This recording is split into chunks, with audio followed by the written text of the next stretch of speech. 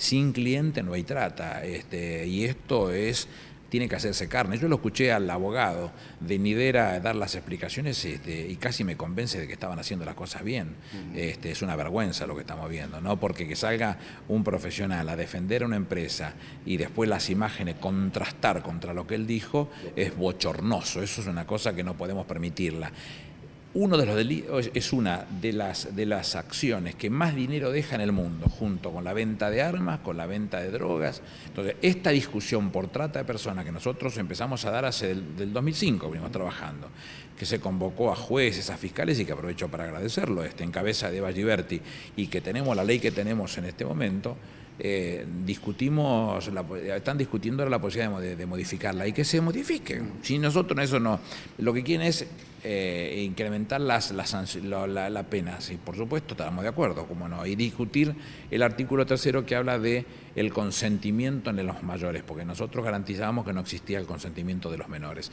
Pero el 80% de las, de las víctimas, que son cerca de mil las víctimas liberadas hasta ahora por, por el sistema que nosotros diseñamos, el 80% son mayores, con lo cual está claro que no es un problema de consentimiento lo que se está discutiendo. Se puede demostrar la trata sin ninguna, de, de, cualquier forma, este, sin necesidad de tener que hablar de consentimiento, pero si se tiene que modificar, modifiquémoslo, vayamos a mejores leyes para que defiendan a nuestra gente. Soy uno de los mentores de la ley de matrimonio eh, igualitario y en ese mismo marco no lo hice por progresista, lo hice porque defiendo y amo la libertad. Y si hay un señor que quiere vivir con un señor, una señora que quiere vivir con una señora, ¿quién soy yo?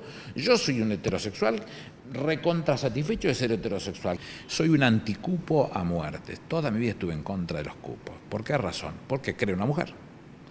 Yo no creo que, se le, que haya que hacerle una concesión. En mi gabinete hay muchísimas mujeres a las que nadie les regaló nada, ni, ni ocupan cupos, ni ocupan espacios que le concedieron como una gracia.